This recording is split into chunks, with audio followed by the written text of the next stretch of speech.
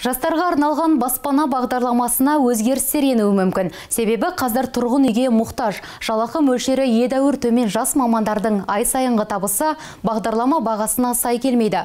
Сатып алу құқығынсыз баспана берудің талаптарын жеңілдету мәселесін мәжіліс депутаты Ғани Ташқараев көтерді.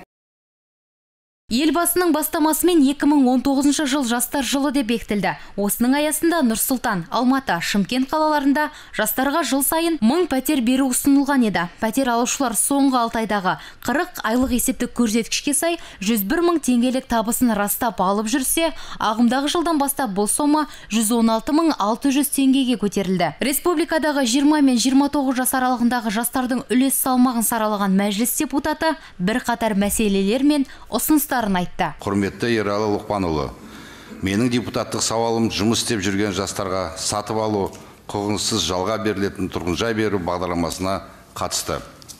Нұр отан партиясының өзгерістер жолы әр азаматқа лайықты өмір атты сайлауалды бағдарламасында талап етілетін мамандықтар бойынша жұмыс істейтін жастарға жалға берілетін тұрғын үй беру арқылы жас мамандарды қолдау қарастырылған. Республиканың ірі қалаларында нұр сұлтан алматы шымкентте жүзеге асырылып мұнда жыл сайын жастарға арналған мың пәтер тапсырылады. Сонымен қатар жұмыс істеп жүрген жастарға сатып алу құқығынсыз жалға берілетін тұрғын беру қағидаларын бекіту туралы қазақстан республикасы ақпарат және қоғамдық даму министрінің 2019 жылғы 29 тамыздағы нөмір 318 бұйрығына сәйкес өтініш үшін кемінде 40 айлық есептік көрсеткіш мөлшеріндегі ай сайынғы табысын растайтын. Соңғы 6 айдағы табысы туралы анықтаманы ұсыну талап етіледі. Ұлттық статистика бюросының мәліметі бойынша республика көлемінде 20 мен 29 жас аралығындағы азаматтар саны екі жарым миллионнан астам адамды құрайды. Қалада тұратын жастар жастардың үлесі бір жарым миллионнан асады. Бұл көрсеткіш жылдан жылға артып келе жатқаны бәрімізге белгілі.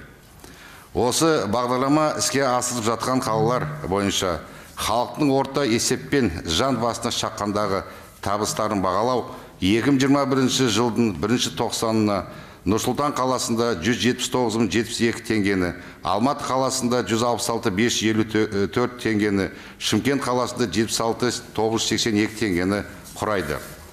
Осы ретте аймақтарға сапар барысында жастармен кездесуде жастар тарапынан бір қатар ұсыныстар мен пікірлер айтылды. Атап айтқанда жалдамалы пәтерлерді алу конкурсына қатысу үшін тұрғын үйге мұқтаж жас мамандар үшін жалақы мөлшері тым жоғары.